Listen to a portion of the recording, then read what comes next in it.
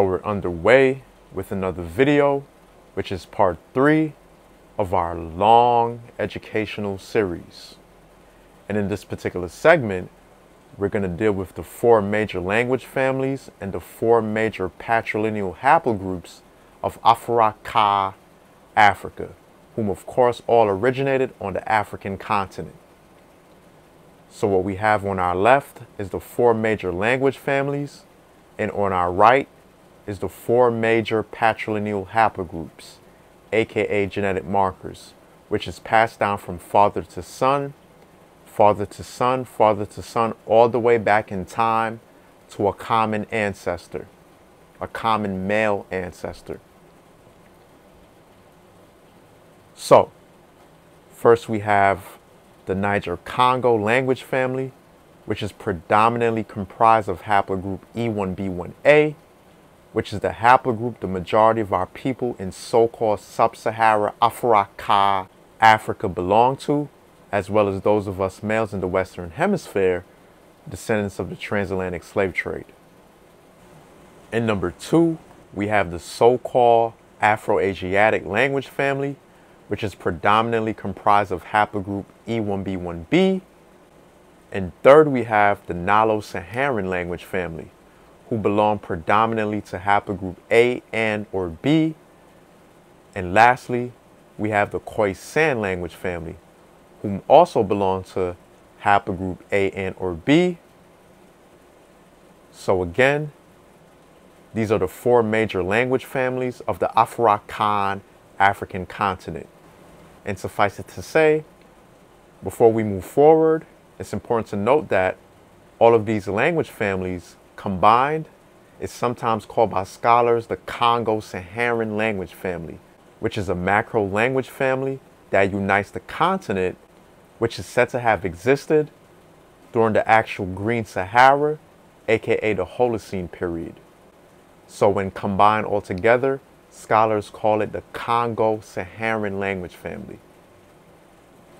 So of course, this reality of the four major African patrilineal genetic markers and the four major African language families is actually tied to our ancient Nile Valley cosmology predicated on the four sons of Heru, which was corrupted in the Bible as the four sons of Ham, Ham, which we're going to be deconstructing later on in our series as well.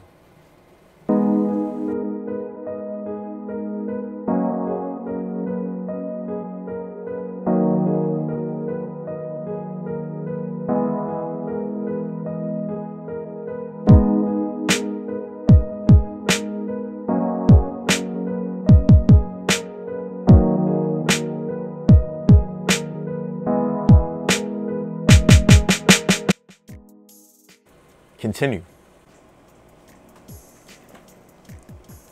So, according to academic linguistic consensus, all modern Afurakan language families have their ancient origin in the approximate Nile Valley regions of East Africa, in the Sudan, Horn of Africa, Ethiopia, Egypt, etc.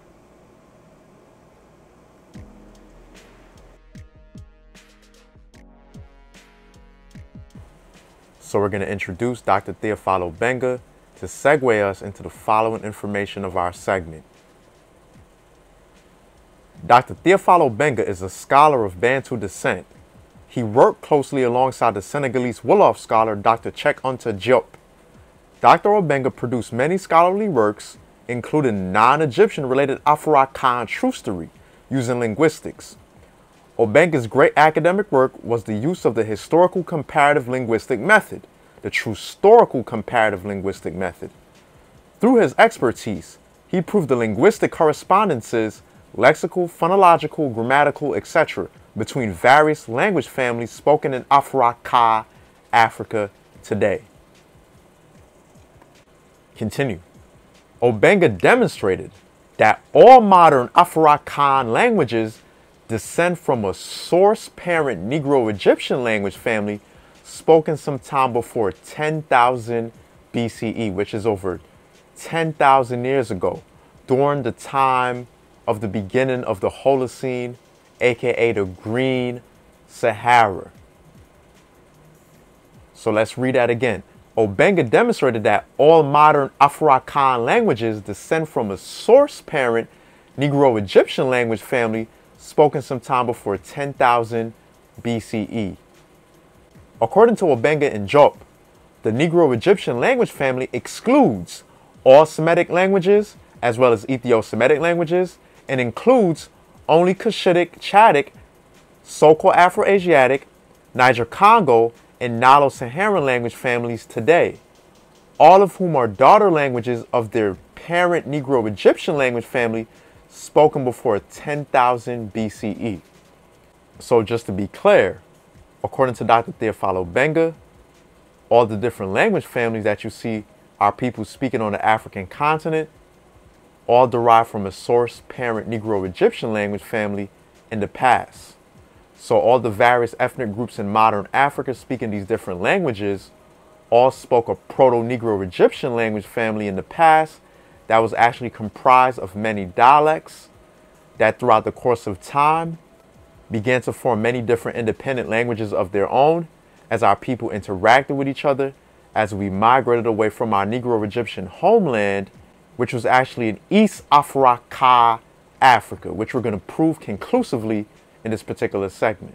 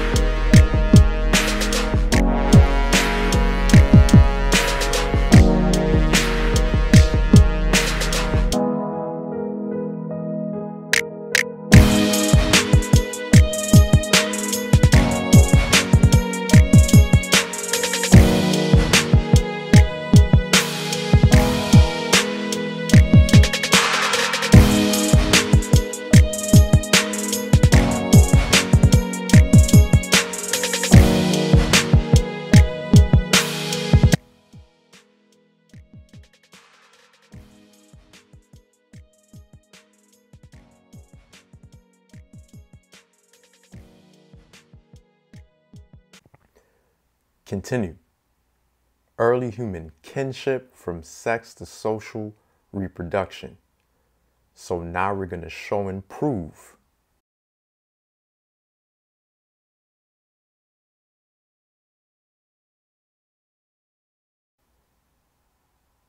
Strikingly, the most probable origin areas of each of the African families lay in the regions within or adjacent to the Horn of Africa so the most probable origin areas of the Afurakan language families is in the regions within or adjacent to the Horn of Africa, which is around the modern regions of Sudan and Ethiopia. According to the most recent findings, three of the four established families, one Nilo-Saharan, two Afro-Asiatic, three Niger-Kordofanian, which is also called Niger-Congo, and four Khoisan divided the deepest level into two primary branches. In each family, one of the two primary branches is spoken across large areas of the continent, while the second primary branch occupies a restricted area in eastern or northeastern Africa.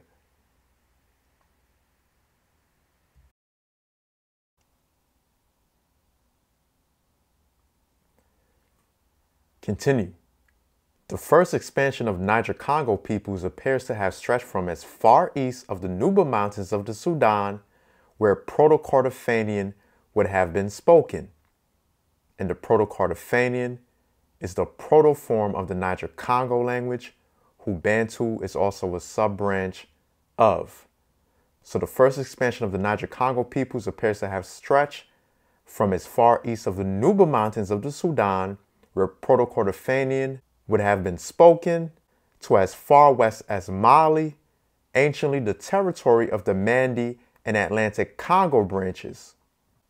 So as you can see, both of our sources so far further corroborates linguistically that the language family that our people who predominantly carry haplogroup E1B1A originated somewhere in the regions of modern day Sudan and Ethiopia. Just how long that time period of expansion took place remains unknown. So they're saying here that they're not certain of the time period of expansion. So what we're going to do now is conclusively determine an approximate time period by continuing to measure in our people's activities on the continent archaeologically, linguistically, and genetically.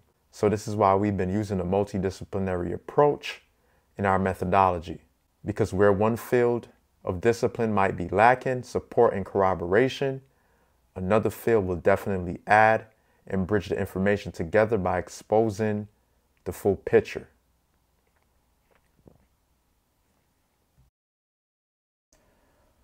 The genetic structure of history of Africans and African Americans. So now we're going to read quickly through certain portions of this particular scientific article, which delineates for the most part the autosomal ancestry of black Africans in America, descendants of the transatlantic slave trade.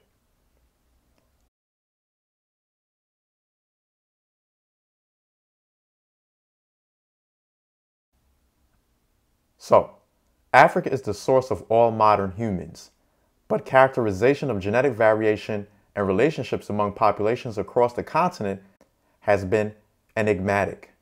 We studied 121 African populations, four African American populations, and 60 non African populations for patterns of variation at 1327 nuclear microsatellite and insertion slash deletion markers. We identified 14 ancestral population clusters in Africa that correlates with self-described ethnicity and shared cultural slash and or linguistic properties. So now here's the key. The ancestry of African Americans is predominantly from Niger Kordofanian, 71%, European, 13%, and other African, 8% populations, although admixture levels varied considerably among individuals. So again, Niger Kordofanian, aka the Niger Congo, is predominantly the group of Africans that blacks in the Western Hemisphere primarily descend from, which as you can see approximates to 71%. However, other scientific sources, the 71% will vary, where it goes from about 70% to 75% upwards to 80%. So as you can see, our DNA is still predominantly African, which again derives primarily from the Niger Congo, Niger Kordofanian language family, who predominantly carry haplogroup E1B1A. So we're going to read from the same article, and it says modern humans originated in Africa 200,000 years ago and then spread across the rest of the globe within the past 100,000 years. Thus, modern humans have existed continuously in Africa longer than in any other geographic region and have maintained relatively large effective population sizes, resulting in high levels within population genetic diversity. Africa contains more than 2,000 distinct ethno-linguistic groups representing nearly one third of the world's languages. Of course, because the languages of the world all derive from the proto-language families of the African continent. Except for a few isolates that show no clear relationship with other language, these languages have been classified into four major macro families. Niger Kordofanian, spoken across a broad region of Africa, Afro-Asiatic, spoken predominantly in Saharan, Northeastern, and East Africa, and Nilo-Saharan, spoken predominantly in Sudanic, Saharan, and Eastern Africa, and Khoisan, languages containing click consonants spoken by the San in southern Africa and by Hadza and Sandawe in eastern Africa. So once again, you're seeing the four major language families of the African continent. So what you're seeing also is where the four major language families are currently dispersed as our people migrated back and forth to different regions on the continent over time.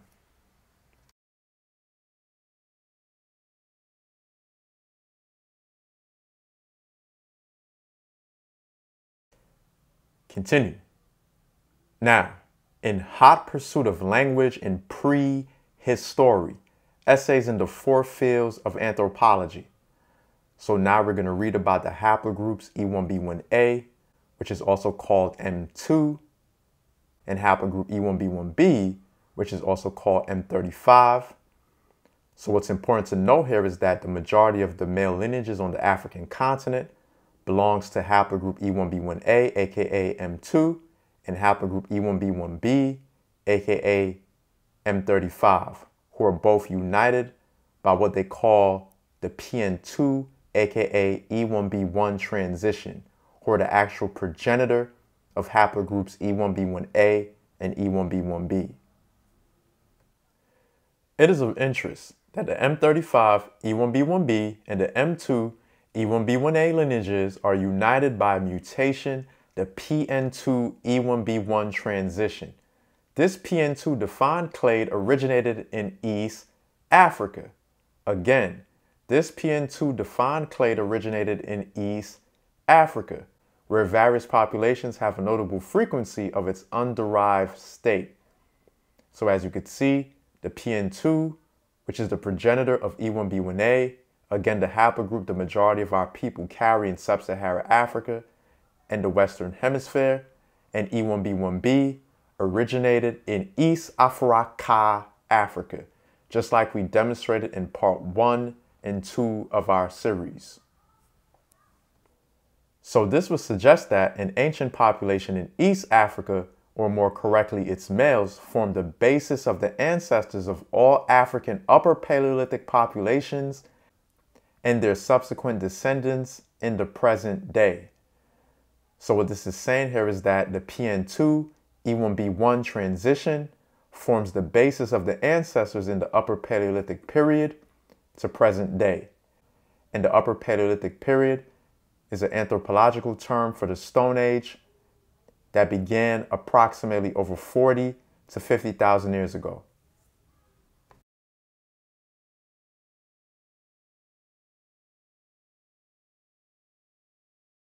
Now, so what we have here is Dr. Soy Keita, who's the individual from part two that was speaking on ancient Africa and the ancient Sahara.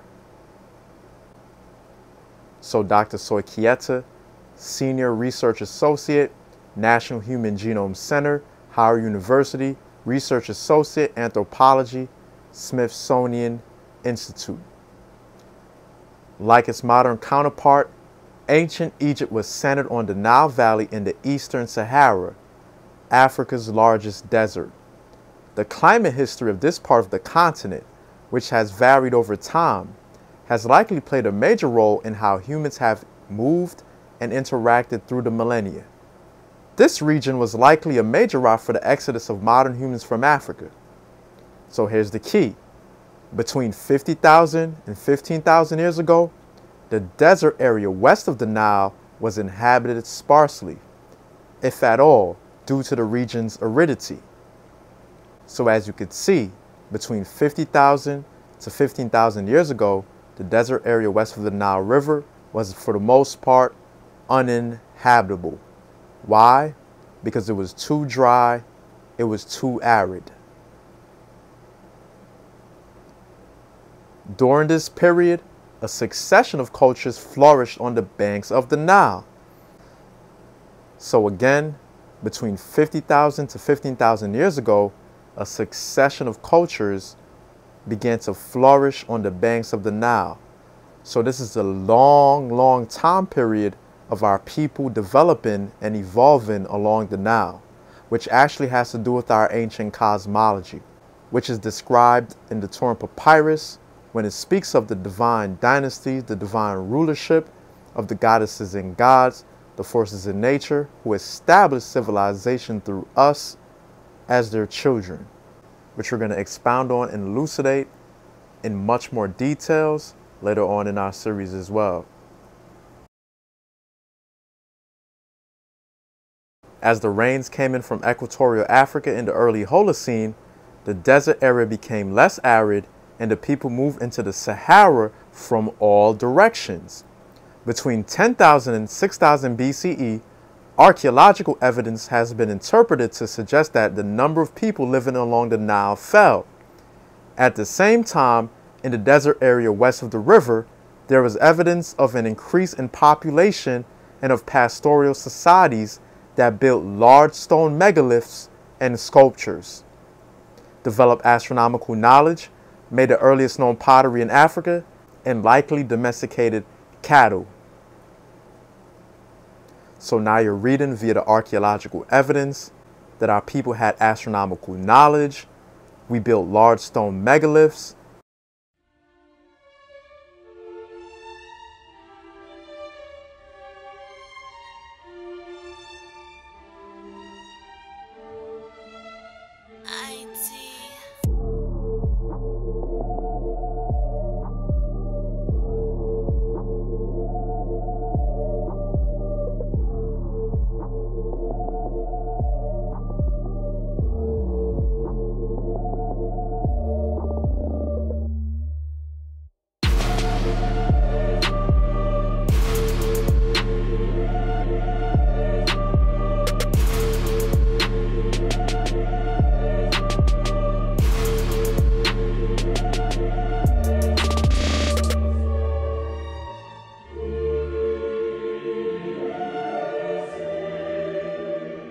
So as you can see, none of us is coming off of Noah's Ark in Mount Ararat as the fictional Bible will want you to believe. So that's his story.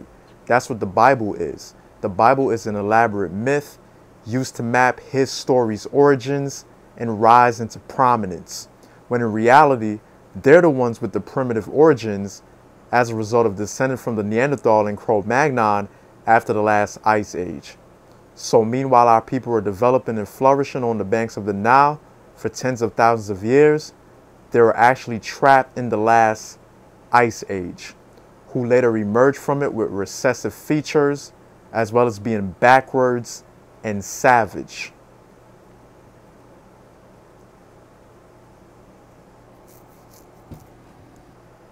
There are rock paintings of people and animals sometimes using themes that also appear later in Egypt, along with other aspects of the culture. So once again, just like we showed and highlighted in part two, you're also hearing via the archaeological evidence that there were rock paintings and art in the ancient Green Sahara. After the climate again grew more arid after 6000 BCE, there is evidence for migration back into the Nile Valley. So again, our people were occupying the Nile for tens of thousands of years. Then when the Holocene began and the monsoon rains came from equatorial Africa, we migrated into the green Sahara that became lush and fertile. We occupied it for thousands of years. Then after the gradual desiccation, the gradual drying began to occur. The majority of us migrated back into the Sudanese and Egyptian Sahara and established those colonies and states along the Nile.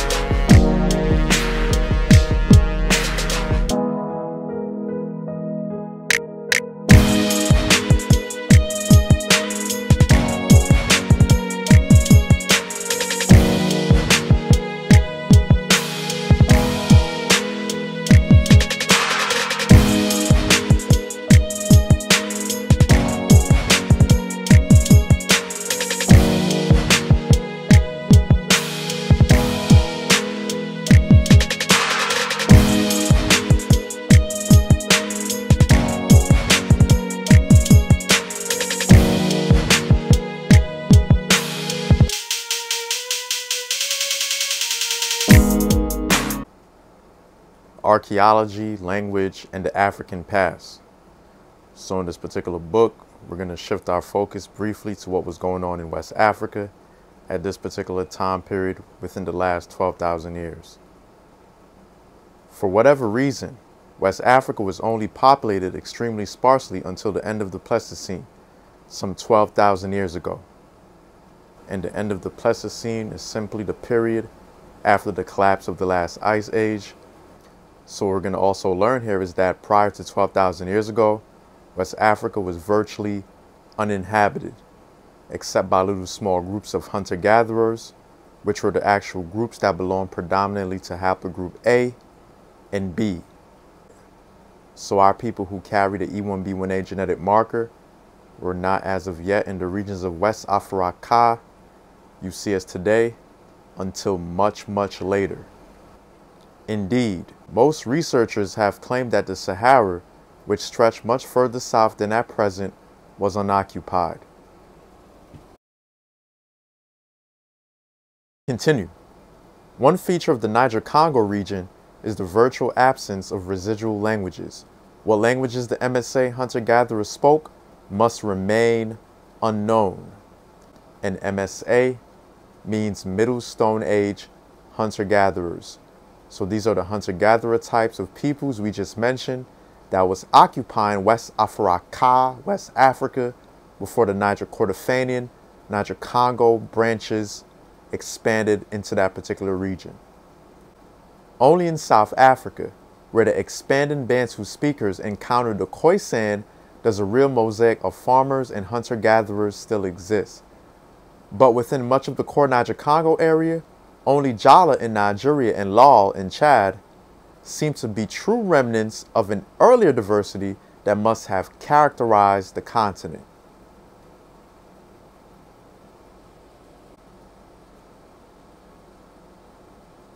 These fragments point at a more ancient stratum of hunting gathering populations in West Africa, present at the time of the Niger Congo expansion, but almost completely absorbed by them. So, just like we said, the archaeological and linguistic record indicates that the Niger Congo branches, who again belong predominantly to haplogroup E1B1A, encountered these hunting gathering groups who mainly consist of peoples like the Khoisan, Pygmies, and some Nilo Saharan groups. So let's read that again. These fragments both hint at a more ancient stratum of hunting gathering populations in West Africa, present at the time of the Niger Congo expansion but almost completely absorbed by them. Niger Congo must have expanded and assimilated all the resident groups and must therefore had highly convincing technological or societal tools to bring this about. Again, Niger Congo must have expanded and assimilated all the resident groups and must therefore had highly convincing technological or societal tools to bring this about. So in other words, he's posing the question whether or not our Niger Congo ancestors, who expanded from their origins and encountered these hunter gatherer groups, had highly convincing technological tools. But not only did they have highly convincing technological tools, but what we're going to do now is prove archaeologically that they actually migrated from and brought those advanced tools with them from North Africa, North Africa, from the modern Sudan, Egyptian regions.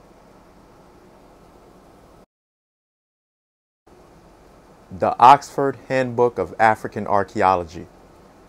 So here we're going to further prove and let the archaeological evidence be our witness that our people indeed migrated into North Africa within the last 50,000 years and partook in those technologically developed cultures that eventually gave birth to ancient Nubia and Egypt.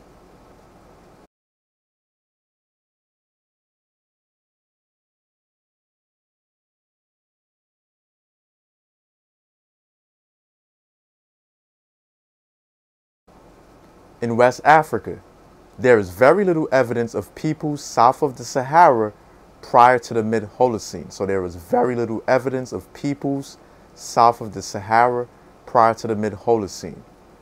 And such evidence as does exist is primarily of small scattered groups of mobile hunter gatherers. of course, just like we showed in our other source. Some of who returned frequently, possibly even seasonally, to the same places. So again, you can see these hunter-gatherer groups were prone to moving around, and rightfully so, as they were still living a hunter-gatherer lifestyle. Davies and Shaw both argued that before the desiccation, again the drying of the Sahara, before the drying of the Sahara, not only were Saharan inhabitants not compelled to move southward, but it was virtually impossible for them to do so. So our ancestors that was living and occupying the ancient Sahara during the Holocene period, it was virtually impossible for them to move southward.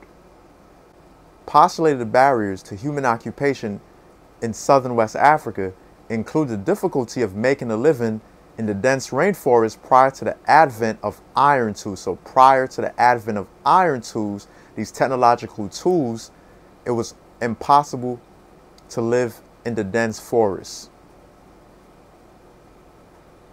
And potentially lethal diseases such as malaria, onchocerciasis, and trypanosomiasis, the latter an added problem to herders because it can be devastating to cattle. Only when climate zones contracted could people, and especially herders, move south. Continue. The artifacts found at many early sites support a northern origin for SMA people in southern West Africa. So let's read that again. The artifacts found at many early sites, the archaeological artifacts found at many early sites, support a northern origin for SMA people in southern West Africa, West Africa. And here, SMA actually stands for Stone Middle Age People.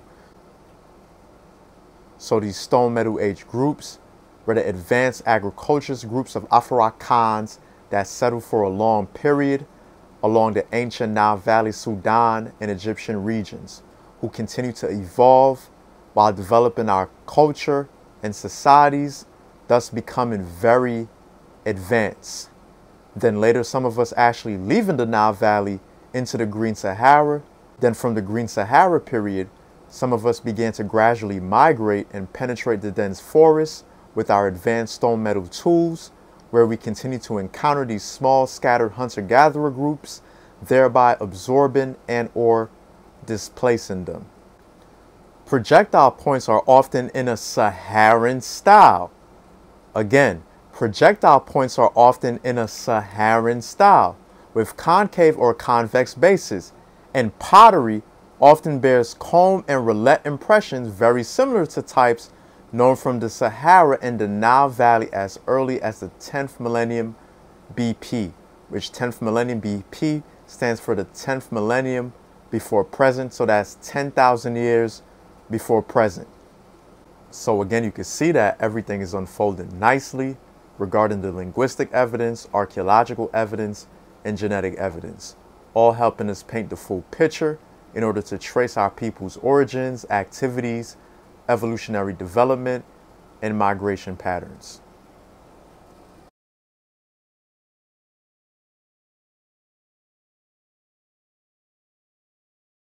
Now, so here we're going to read from one of the oral traditions of the Congo Bantu people who states that they actually migrated from North Africa because of the desiccation of the Green Sahara.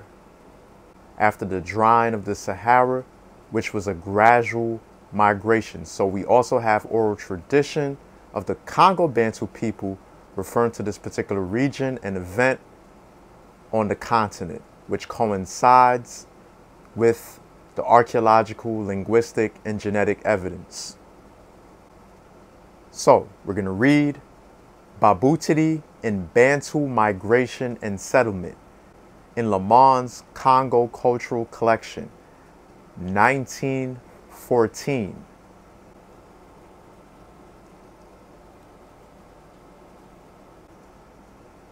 A long time ago in antiquity, people did not exist in this lower Congo. They came from north of the country. So, a long time ago in antiquity, people did not exist in what is today called Congo.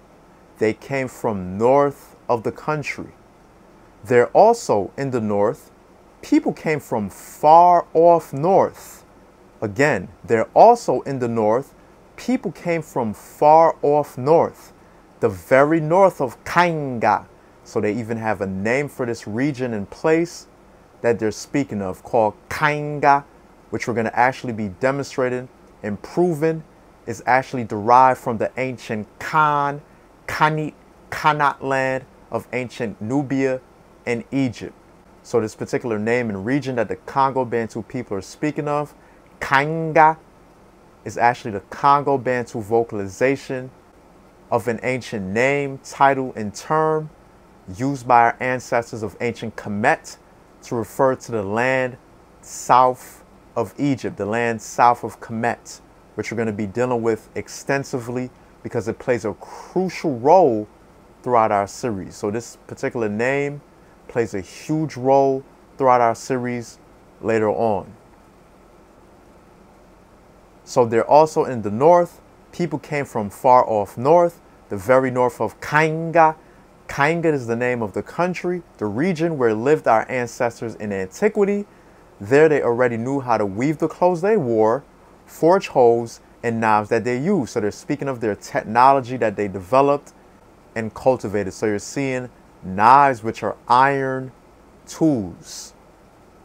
So these are the same type of tools they used to penetrate the dense forests because these were the agriculturalists that eventually migrated into the forest regions of Africa during the drying of the Green Sahara.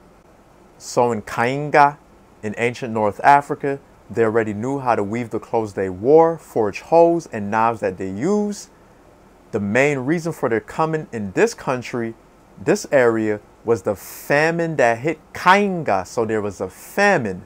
The very same thing that we were just talking about via the archaeological evidence and linguistic evidence of the drying of the ancient Green Sahara. So this is exactly what they're speaking of in their oral tradition that there was a famine that hit Kainga, which is north of the country the northern part of Africa, Africa. For many years, the drought reigned. Crops and fruit trees they planted dried up. So, for many years, the drought reigned. The desiccation started to come, and the, the Sahara, the green Sahara, started to become dry and arid. They suffered a lot for this. Unable to support the suffering, they said to each other, Continue. So unable to support the suffering, they said to each other. So they said to each other as a result of them suffering, let's go to Banda Mputu, which means let's pass through the dense forest, the unbreakable wall, and organize chieftaincies, because we have a lot of hunger up here. So they agreed, let's go.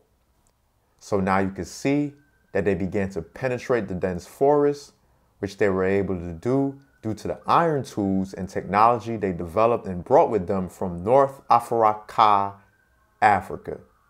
So, of course, this particular migration also indicates what Eurasians call in academia the Bantu expansion, which, as you can see, didn't begin in West Africa, but actually started in North Africa during the drying of the Green Sahara.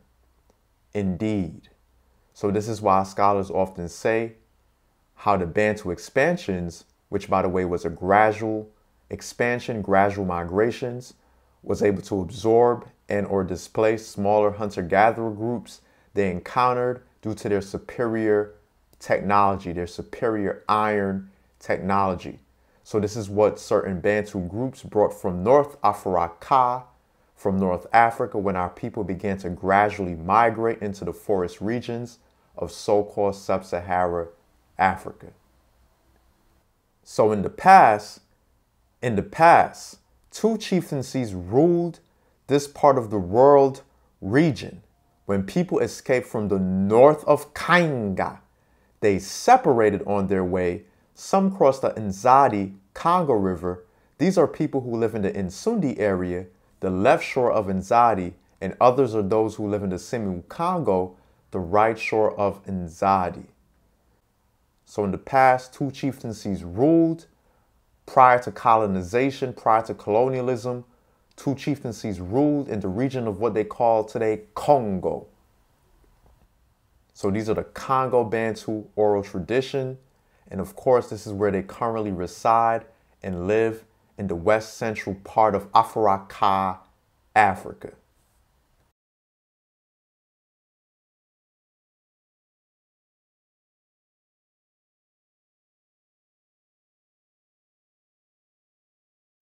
Continue.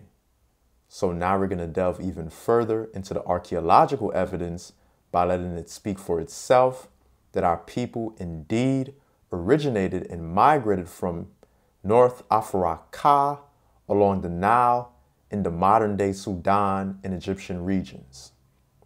So this source is called bioarchaeology of the transition to agriculture.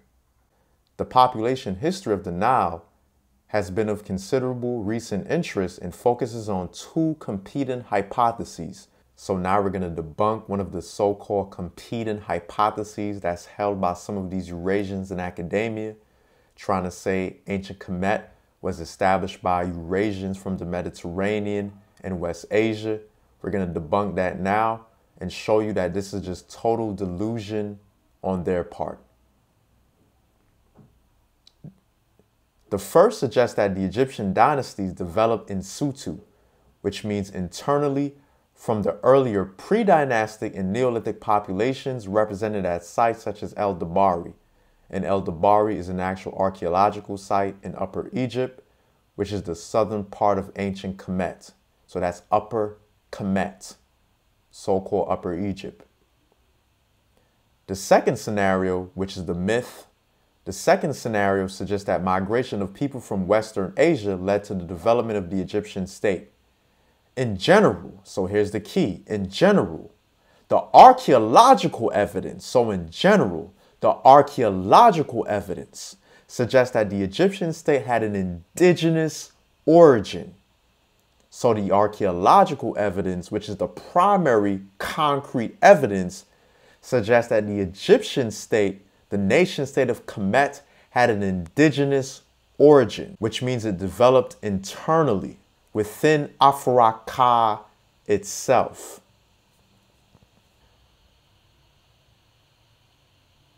Continue. Two recent studies, so two recent studies, provide evidence for the population dynamics in the Nile Valley throughout the Holocene, so throughout the Green Sahara period which is in the last 12,000 years.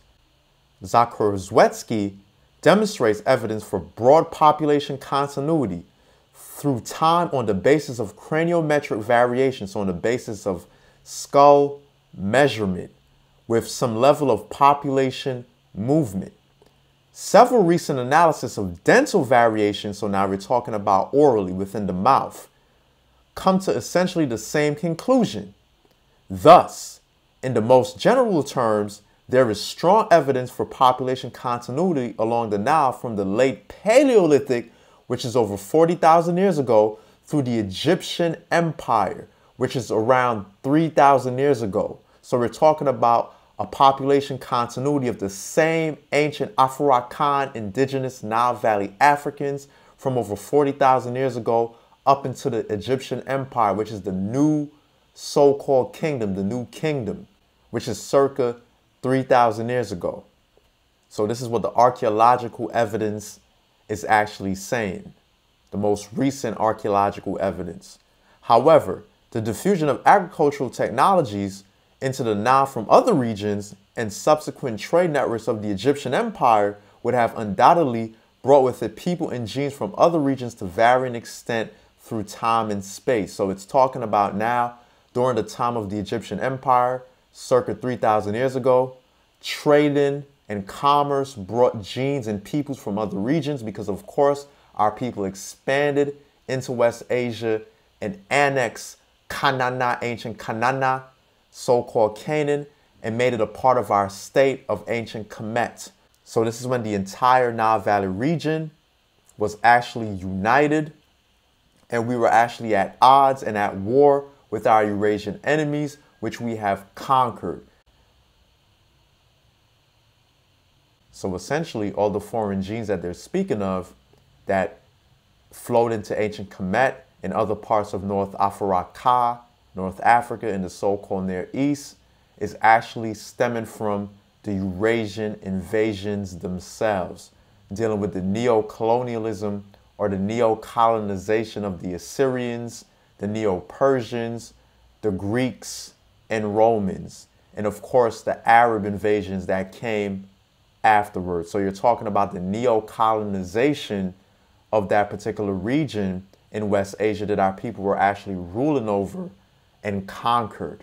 The entire Syria Palestine region, which was called Canaan by our ancient ancestors, our people were ruling over those regions, and the Eurasians started to invade and started to Aryanize those regions, whitewashing those regions by polluting the blood of the indigenous inhabitants, which was some of our ancestors from ancient Kemet and other parts of North Africa who were actually occupying and living in those areas at that particular time.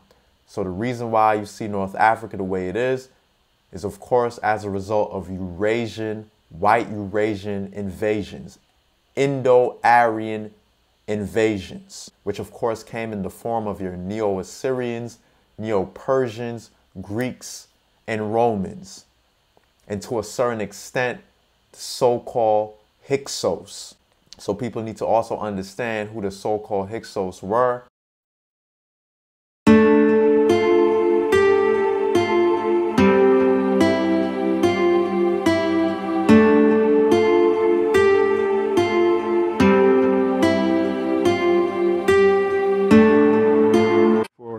You know, uh, we have to use visual documentation to bring this back for other brothers and sisters to see it because they may not never make it back like you.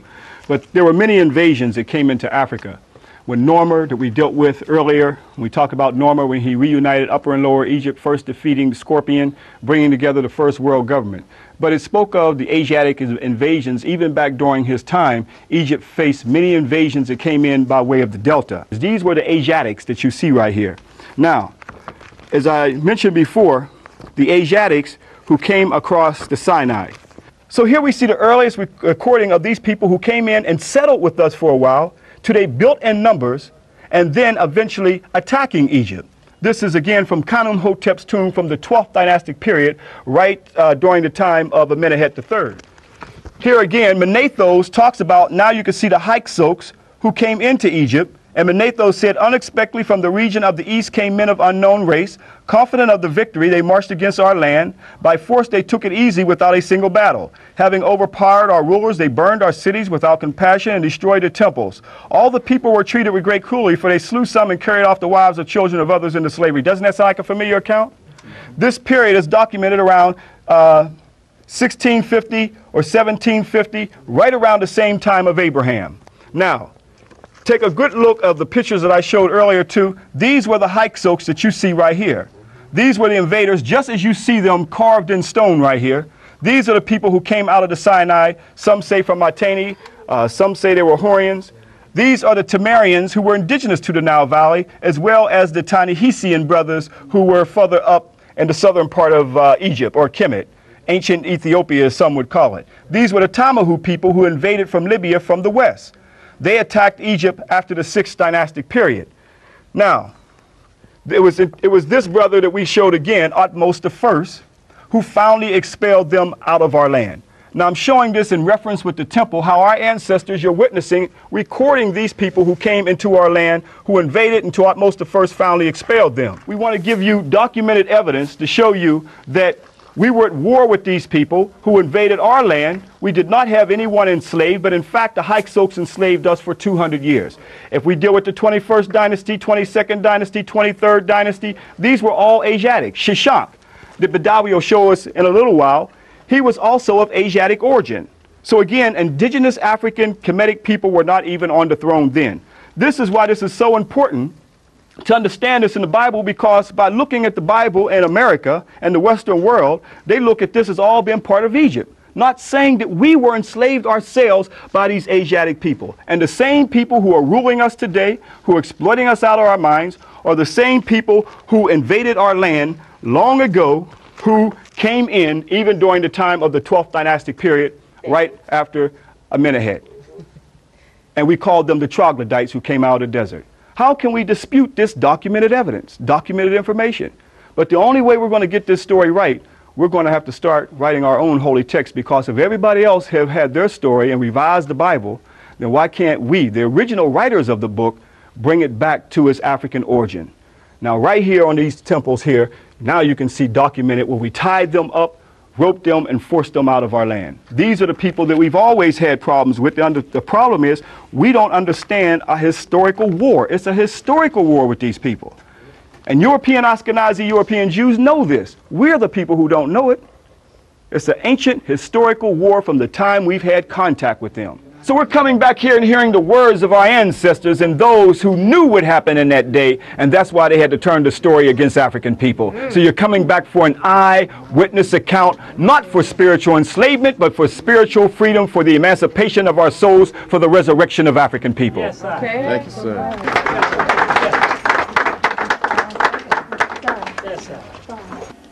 For many years, brothers and sisters returned back with us on the Kemet Nu Know Thyself educational tour to see an eyewitness account what our ancestors wrote for us on the temples and tombs, which are books in stone, that now end up in many of the biblical stories today. Let's continue with the live lecture. These are the people who enslaved our people. These people set up in an area of Kemet and lower Kemet called Avaris, took over, and were enslaving the Africans for over 200 years until Seqenenre Tao of the 17th dynasty, and it is he who waged war on the battlefield, and his life was lost on the battlefield, and it was his son, Thutmose, who continued the battle until his son, uh, Ahmose, who opened up the 18th dynasty. This is a real person, brothers and sisters, who said, Never again. He was the liberator, the emancipator, who kicked these Hyksos out of our land. This is the real historical account that we've got to start teaching our people, brothers and sisters. So, they took from this African right here name Ahmose and made a Moses. This is the only account that we expelled a large group of people out of our land, this African right here, who opened up the 18th dynasty known as the Golden Age. This is the historical account, brothers and sisters. In fact, let's go into another warrior soldier, as we see in his uh, name, Men-Kepera, Tahuti Mays. He had 17 battles and won them all. He also wanted to make sure that these Hyksos were not going to come into our land. Here you see Men-Kepera's battle, showing where he's battling the Hyksos. Look at some of them hiding behind trees as cowards right here. This is the story that our ancestors left us in stone, as though they knew that one day we would forget our story. Here's the battle of Men-Kepera, who battled and wanted to make sure these Hyksos were not going to come into our land. In fact, this brother, he made sure that he even educated these people he was conquering into the Kemetic uh, history, okay, initiated them into a, make sure that they will keep control of people that they're conquering. So that brother was brilliant. In fact, he put a whooping on a city so bad called Megiddo. Do you know this is where the name Armageddon from came from? Megiddo right here. That's where the origin of that name came from. But this is the brother. Ursama At Rasab Tepen Rawa Mesumari Amen. A little practice, you can say it too he also had to fight some people called the Hittites. See, we're constantly at war with these people coming from the north, brothers and sisters. We left the reliefs over 3,000 years ago carved in stone. In fact, there's one story right here where Ursama Atra told his generals, he said, cut off the right hand of the enemy. But he noticed that the right hand and the left hand was turning up. He told them to cut off the right hand to make sure that they weren't cowards. So he said, the enemy only has one of one thing I know they got, and that's the penis, the foreskin.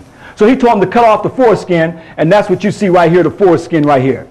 These are stories and accounts that's carved on these temples, brothers and sisters. Our story is here. Now, what does that have to do with the scriptures? Well, let's go to Samuel, and it talks about David wants to marry the daughter of uh, Saul. So Saul tells him to go and do what? Cut off the foreskin of the Philistines, as it says in Samuel chapter 18, verse 27.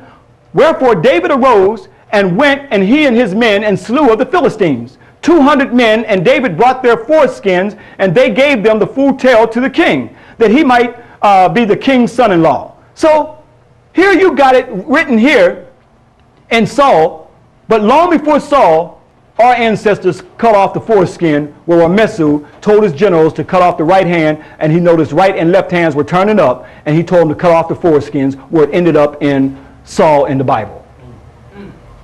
What makes uh, somebody who just put it on some paper versus that which is carved in stone? Spiritual enslavement.